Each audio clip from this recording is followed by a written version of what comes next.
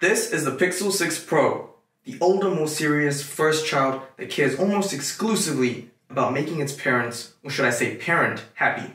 And this is the Pixel 6, the younger, carefree, and colorful sibling who doesn't care about anything really, and received most of its specs as hand-me-downs from its older sibling. My name is Prashil, and these are my thoughts on the Pixel 6 versus the Pixel 6 Pro six months later.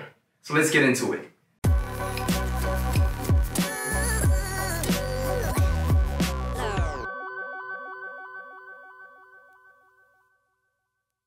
Alright, so right off the bat, with the Pixel 6a already announced and probably coming out within the month, and the 7 on the horizon, and so for bargain hunters like myself, it poses a great opportunity to see whether these phones actually have something to offer six months later in this market where there are a plethora of other devices out there. So let's start with the look and feel of these devices. Starting with the absolutely stunning Pixel 6 Pro in Stormy Black, I gotta say, the visor design with the two-tone look is definitely a bold statement on Google's part and is definitely accentuated by the gloss black panels and the curved display, which overall makes it feel more businesslike.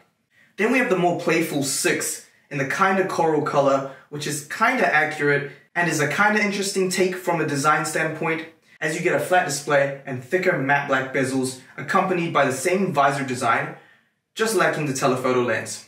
Now I gotta say, while I do give the design to the 6 Pro, how these phones actually feel in the hand is a completely different story altogether. Now obviously the 6 Pro is the taller, bigger device, and while it is a little bit more uncomfortable to use, it's not impossible. However, because of the curved display, you'll find that the bezels are actually a lot thinner than the 6, and so it actually feels harder to hold and less sturdy. The 6 on the other hand has a flat screen and in turn nice thick bezels giving it a boxier feel, making it easier to hold for longer periods so the 6 takes the cake here. And it is important to note that both of these phones are sandwiched between glass, and so they do both feel pretty premium in the hand. Alright, so when it comes to the camera system, it's honestly pretty much identical, except for the telephoto lens, which the 6 Pro adds. You get your standard 50 megapixel wide camera with 82 degrees field of view at an f1.85 aperture. You get a 12 megapixel ultra wide camera with 114 degrees field of view at f2.2 aperture. Now with the 6 Pro, you also get an additional 48 megapixel telephoto camera with 23.5 degree field of view at f3.5 aperture with 4 times optical zoom and 20 times super res zoom. So photos in general up to a point are basically the same with the 6 Pro being able to push the boundaries a little further by allowing you to zoom in more. Now I love the image quality and photos are honestly really decent in well lit environments and the incredible image processing also means that nighttime photos retain a good amount of detail. And this is all thanks to the computational photography. Video is pretty good too, if you want to film short videos of landscapes and scenery, and anything really in a general sense, you're good to go with any of these devices, maybe with a gimbal. Now there are two things I want to note when it comes to the camera system on both of these pixels. Now the Pixel lineup prior to these phones have historically been known for not really having the highest end physical hardware when it comes to the camera system. Now the Pixel 5 had a 12.2 megapixel primary sensor and a 16 megapixel ultra wide. Now despite these modest specs, the Pixel 5 actually delivered really crisp and color accurate photos that were just exposed well enough thanks to its amazing computational photography. Now with these newer devices which have quite a bump up in spec, it seems that Google really hasn't changed the software side of things that much to adapt to actually work with the upgraded hardware. And so for me personally, I think that photos come out a little bit over processed. Now my second point here is that while the Pixel 6 Pro does have an advantage with the telephoto lens, I honestly don't think it's a deal breaker. Because really, go into your gallery right now and tell me how many photos you've actually taken with the telephoto lens on your camera. And it's probably not going to be that much. So for me, it's not a deal breaker. Alright, now let's talk about software and performance. Gaming on both devices is honestly a breeze. I haven't had any issues or serious overheating while playing games. Load times are quick and everything is generally pretty snappy. General performance is also really great as well. The Tensor chip really holds its own when it comes to performance, and so when going about your day-to-day -day tasks, you shouldn't encounter any issues or even lag or stutter at all. I will say, however, that the larger, brighter, and more vibrant screen on the 6 Pro does improve media consumption And the higher refresh rate does help it, um, especially in terms of just how snappy it is and the animations.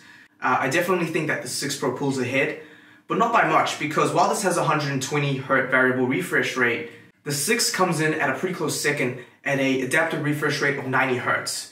So while there is a slight difference and this phone does feel a little bit snappier, it's not by much. And both these phones are above the standard 60 hertz that's, you know, that Apple has had for a long time now, so I don't think it's that much of a gap. The speakers are also pretty okay. You get a dual speaker setup for surround playback and a three mic setup on both of these devices, so it's no difference there. Now, one thing I do have to note about both these phones is that the fingerprint scanner recognition time on both of these devices kind of lags behind the competition. They use an optical fingerprint scanner which uses light to illuminate your finger and match that to a copy stored in its database. This might sound all fancy, but it's actually kind of slow, and an ultrasonic fingerprint scanner is far superior. They did release an update with Android 13 that makes it noticeably faster, but it's still an optical scanner and it will still have those limitations.